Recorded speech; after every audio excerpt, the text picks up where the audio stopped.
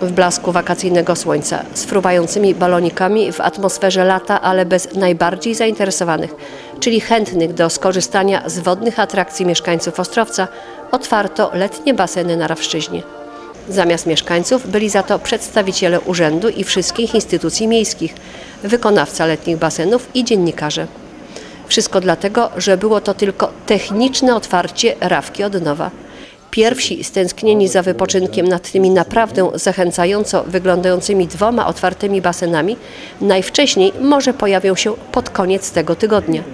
Pod warunkiem uzyskania wszystkich zgód i pozwoleń na funkcjonowanie takiego ośrodka wodnego. Teraz to tylko czekamy na formalności, odbiór e, przez Cenepit, odbiór przez Straż e, Pożarną, no i decyzja e, nadzoru budowlanego o pozwoleniu na użytkowanie. Dzisiejszy odbiór techniczny chcieliśmy pokazać naszym mieszkańcom zakres prac, jaki został tu wykonany. Pogoda sprzyja, koniec roku szkolnego, rozpoczęcie wakacji, więc e, liczymy na to, że wszyscy za chwilę będziemy mogli korzystać z tych basenów. Woda jest już gotowa. Więc e, myślę, że nasi mieszkańcy e, i nasi goście, którzy też będą na pewno licznie i tłumnie przyjeżdżać do Ostrowca Świętego, Świętokrzyskiego, bo chcę podkreślić jedną rzecz. E, To jest otwarte kąpielisko, otwarta strefa basenów, najpiękniejsza, najładniejsza w tej części Polski. Myślę, że tutaj będziemy konkurencję bić na kilka długości. Mamy otwartą część dla najmłodszych, milusińskich, więc tu jest basen o głębokości od 0,15 do 0,60. To jest ta część najprzyjemniejsza dla naszych najmłodszych mieszkańców i dla naszych najmłodszych gości. No i z drugiej części ta e, część basenu 1,30 m, 1,40 m z wydzieloną częścią do pływania, z częścią do rekreacji, e, tak zwane łóżka wodne na e, dużej odległości, e, hydromasaże, e, te elementy, gdzie woda z, pod specjalnym strumieniem e, spływa bezpośrednio do e, basenu. Dodatkowy element, e, który jest wykonany jak gdyby w nadprogramie, to jest element zjeżdżalni rodzinnej i zjeżdżalni tej pojedynczej. Ona e, też będzie uruchomiona już dla e, wszystkich mieszkańców. E, To był ten element, który miał być w drugim etapie wykonany, ale wykonawca tutaj wyszedł z inicjatywą i za co też chcę podziękować. To są specjalistyczne roboty, to nie jest budowa domu jednorodzinnego, to nie jest budowa drogi asfaltowej, to nie jest budowa kawałka chodnika. To są naprawdę specjalistyczne obiekty, które wymagają wiedzy fachowej i takich obiektów się buduje w mało w Polsce. E, Dzisiaj rynek jest rynkiem wykonawcy, nie inwestora. Pracowników brak. Tutaj wykonawca miał duże problemy z częścią załogi, żeby ściągnąć do tych prac specjalistycznych, bo to naprawdę są mocno specjalistyczne prace. Jest dwa etapy, o których mówiliśmy od samego początku. E, To jeszcze nie koniec prac. E, Te prace będą kontynuowane również po e, sezonie. Jeszcze jest tak zwana strefa mokra. Za moimi plecami będą też e, dodatkowe budynki wybudowane, ale to już po tym sezonie. E, Od samego początku dzielone to było na e, dwa etapy. E, Jestem z tego e, zadowolony i myślę, że ten zakres, który był wykonany i zakres, który wykonawca przyspieszył tą część zjeżdżalni, pokazuje, że, że tutaj jest dobry klimat, jest dobry potencjał ku temu, żeby te nasze baseny były taką wizytówką. Myślę, że wszystkie mamy i wszystkich dziadków interesują ceny, wszystkich nas. Te ceny są dopasowane, będą dopasowane do potrzeb. To mamy najnowocześniejszy obiekt, proszę zauważyć, ile osób tu pracuje, ile wysiłku, ile energii trzeba, aby to utrzymać e, we właściwym standardzie, we właściwej czystości i jakości. I, i to jest skrojone właśnie na e, takie możliwości. Myślę, że tutaj e, ten bilet będzie za cały dzień. W dniu dzisiejszym y, Sanepid rozpoczął przegląd całości obiektu związanych z wydaniem decyzji, która umożliwi korzystanie z obiektu. Zakończenie całości związanej z wizytą Sanepidu myślę, że koło wtorku się skończy i wtedy będziemy mieli decyzję. Z tym, że proszę Państwa, tu jest jeszcze jedna kwestia, bo to jest kontrola zgodności wykonania realizacji inwestycji z projektem budowlanym. Natomiast potem jest jeszcze druga wizyta Sanepidu związana z parametrami wody i wtedy jest już dopuszczenie samego, znaczy wcześniej jest pozwolenie na użytkowanie, a potem już na podstawie badań wody, które są są w trakcie, bo to badania są rzędu 72 godziny. W związku z tym wyniki będą koło środy. Sobota, niedziela nie pracują, także to trochę inaczej wygląda i wtedy będzie już można, myślę, że pod koniec tygodnia uruchomić basen dla mieszkańców. Ja już czekałem na to, jak tylko został ten basen wybudowany i byłem za tym, żeby to odbudować. Niestety nie wszyscy ludzie byli do tego zdolni ani podchodzili, że to jest wszystko niepotrzebne. Kiedy ja już wtedy wiedziałem, że otwarcie takiego basenu, takiego kompleksu, to już napisałem na Facebooku, że to jest skóra, która zniesie złote jaja dla Ostrowca. Tu przychodziło, ja pamiętam od otwarcia starych basenów, bo tu trenowałem, tu pływałem. Tu przychodziło masę ludzi, tysiące. I tyle przynosiło dla Ostrowca zysku. To samo będzie z tymi otwartymi basenami, bo rozmawiałem z ludźmi, masę ludzi, nie mogło się tego doczekać. I uważam, że to jest e, tego pragmatyczne działanie prezydenta, ponieważ Idzie o ocieplenie globalne i sezon się o wydłuży, co najmniej od otwartych 3-4 stawek miesięcy albo więcej. I to będą te pieniądze, które dla Ostrowca nie będzie dopłacał do tego basenu. Drogie panie, szanowni panowie, czcigodny księże. Przemawiałem przed wieloma gremiami w wielu miejscach, ale dzisiaj trochę mi łamie głos, ponieważ jest to wyjątkowa chwila. E, Jest to dzień symboliczny, w którym możemy powiedzieć, że sukces w postaci otwartych basenów w Ostrowcu Świętokrzyskim, Rawka od nowa ziścił się. Drodzy Państwo, to jest sukces nas wszystkich. To jest sukces wszystkich osób zaangażowanych w realizację tego zadania inwestycyjnego. To jest sukces y, naszych mieszkańców i myślę, że to będzie też sukces naszych gości, bo mamy się czym pochwalić. Y, Pływanie, Arawszczyzna, basen olimpijski i dzisiaj uzupełnienie tej otwartej strefy rekreacji poprzez otwarte baseny y, to już jest taki pełny kompleks europejski. Naprawdę europejski na miarę XXI wieku.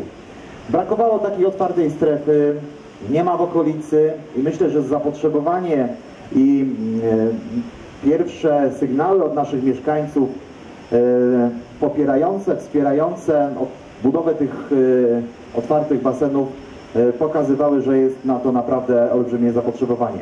Chcę za to podziękować naszym mieszkańcom, chcę podziękować za tą cierpliwość, za wyrozumiałość i chcę podziękować za te miłe słowa, wsparcie, otuchy, bo one były potrzebne. Jest takie powiedzenie, że sukces, że wszystko można wybaczyć oprócz sukcesu. I to niekiedy się sprawdza, niestety sprawdziło się po trosze w Ostrowcu, ale o tym nie chciałbym e, kontynuować. Myślę, że z tego basenu będą korzystać wszyscy.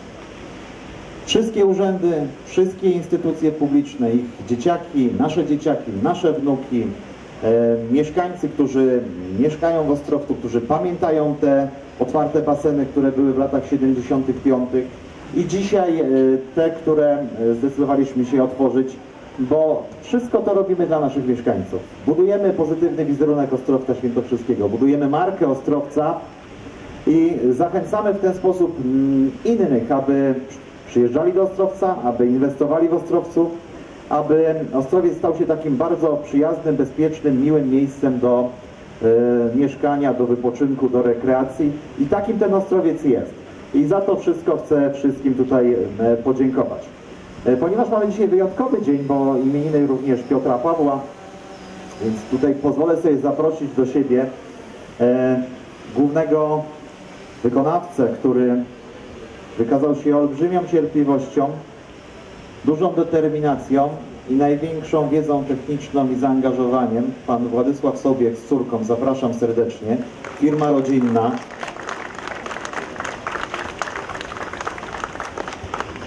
Jest mi niezmiernie miło podziękować. Dziękuję w imieniu mieszkańców Ostrowca Świętokrzyskiego, że Państwo podjęliście się tego zadania i w swoim portfolio będziecie mogli pokazać naprawdę europejską inwestycję. I, I to są też podziękowania dla pracowników. O tych pracowników dzisiaj ciężko, trzeba o nich dbać. Ja wiem, bo dzisiaj też jest święto e, ratowników. Także poproszę też do składu tutaj pana dyrektora Piotra Węglewicza. No tak humorystycznie, dzisiejszy solenizant. To jest prezent na imieniu dla wszystkich mieszkańców Ostrowca, a pan dyrektor zaprasza na imprezę. Drodzy Państwo, e, nie byłoby tych basenów, gdyby nie również wsparcie mojej zastępczyni. Chciałbym poprosić na scenę panią wiceprezydent Marzenę Dębniak. Za e, uszczerbek na zdrowiu należy się tutaj e, gromkie brawa. Drodzy Państwo, ale to nic, y, gdyby nie Rada Miasta, która wspiera działania prezydenta, która wspiera rozsądek, która wspiera merytorykę i która wspiera przyszłość Ostrowca i ten pozytywny wizerunek. I chciałbym zaprosić panią przewodniczącą Irenę Rendudę-Dudek. Mamy tu wszystkich radnych y, Rady Miasta na y, dzisiejszej uroczystości, przewodniczących rad osiedlowych, y, naszych dyrektorów, jednostek, współpracowników, prezesów, dyrektorów szkół, przedszkoli, osób, które będą z tego korzystać. I też mi zależało na tym, aby to było tak właściwie ten odbiór taki techniczny, bo tych odbiorów będzie kilka. Dzisiaj zaczęliśmy od tego technicznego i chcę podziękować jeszcze, bardzo mocno podziękować naszej prasie.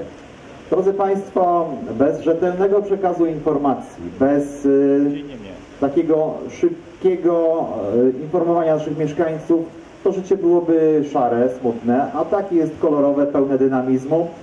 Y, I to jest też bardzo ważne i za to chcę wszystkim Państwu z mediów y, podziękować.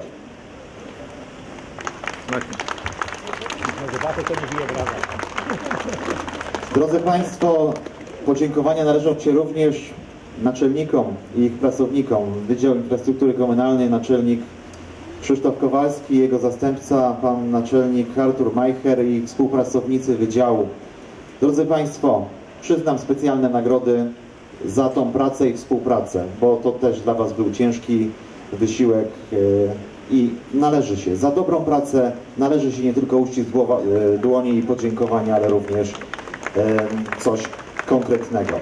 Stąd z tego miejsca jeszcze raz bardzo serdecznie e, wszystkim dziękuję. Drodzy Państwo, ten odbiór nie byłby odbiorem i żeby się tu wiodło i dobrze działo i żeby było bezproblemowo, no to ksiądz, dziekan Jan Sarwa. Zapraszamy serdecznie. Drodzy Państwo, a zanim ksiądz poświęci, to chcę podziękować pani skarbnik Elżbiecie Pichur i zaprosić tutaj na scenę.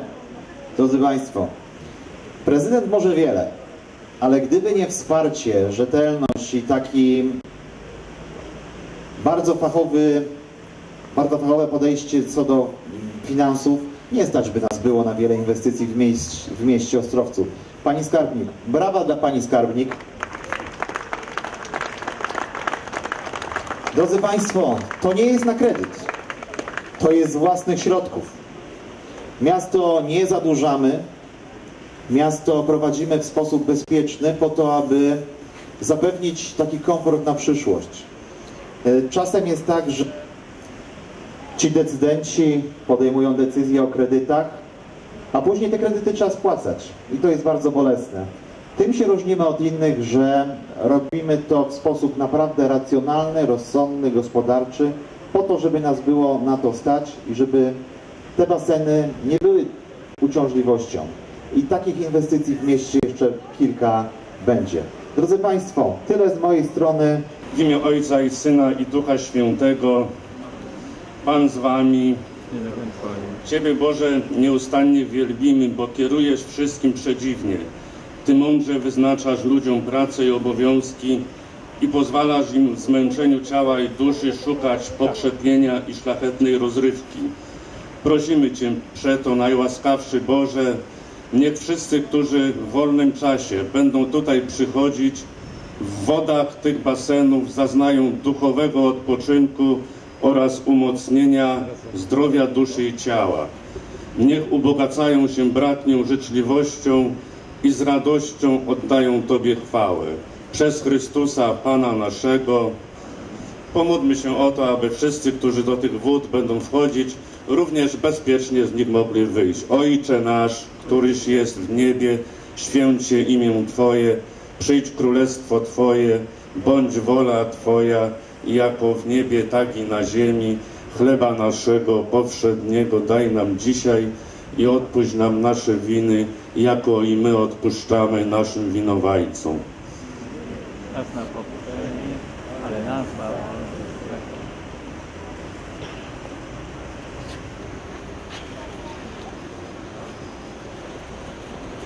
Centrum Ostrowca. Mamy taki piękny, myślę, że nie tylko europejski, ale światowej klasy obiekt. Ufam, że będzie służył naszym dzieciom, młodzieży, dorosłym w wypoczynku, jak również w wyrabianiu sobie tężyzny fizycznej. Panie prezydencie, mimo tego, że poświęciłem, jestem człowiekiem wierzącym i nie chcę Pana Boga tutaj w jakiś sposób kusić na inne sprawy. Proszę, żeby jednak tutaj ratownicy pracowali. tak na wszelki wypadek. Wszystkiego dobrego, jeszcze raz gratulacje, Boże. Drodzy Państwo, te baseny przede wszystkim są dla naszych dzieciaków. A ponieważ jest kilkoro dzieci na, tutaj yy, na tym placu, to zapraszam serdecznie tu do nas. Proszę tu koleżankę, tu widzimy drugą koleżankę, tam widzę trzecią młodą adept pływania. Z boku widz- widziałem jeszcze dwie dziewczynki. Zapraszam tu do mnie. i prosimy o stosowne e, narzędzia. No,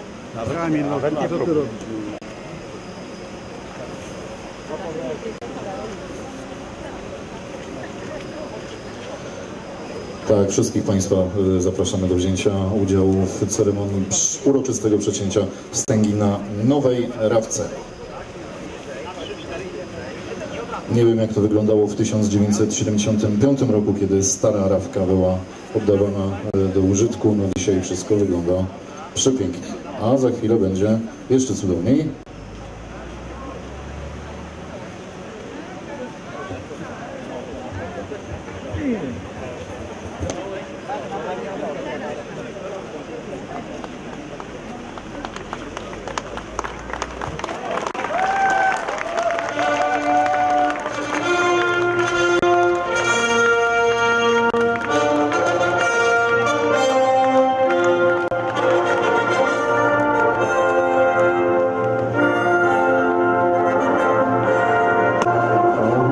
Będzie cudownie.